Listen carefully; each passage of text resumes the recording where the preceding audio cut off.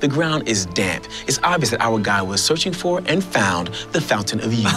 Oh, Gus, you're clearly not accounting for the possibility of the lost city of Atlanta. Atlantis. Well, I've heard it both ways. and they're both wrong. So I really like the way that, that we're going out.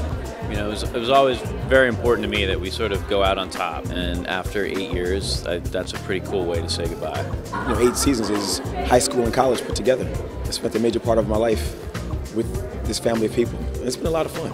Uh, the cycles, meeting all the fans, filming each episode, laughing every day at work is something that I would cherish for the rest of my life.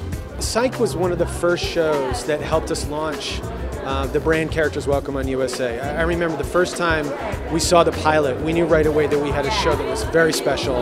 And the fact that it lasted eight seasons exceeded all of our expectations. It's kind of bittersweet. Don't like to see it end, but um, I think obviously it's ending on a very, very high note.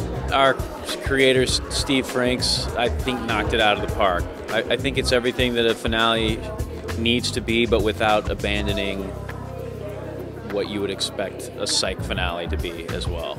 I can't think of a show that has this rabid of a fan base, and it's just so much fun to work with. James Dulé, the rest of the group here, we just they're fabulous, and we just had a great time with it. Psychos, you have been the best. You are the greatest ever. It's been such a wonderful journey that we've been on. I love you dearly and I appreciate you, and let's see what comes next. Psychos know how much we love them. They know they're the greatest fans that have ever taken Breath of Life. And uh, these last couple episodes, quite honestly, are sort of our love letter to you guys.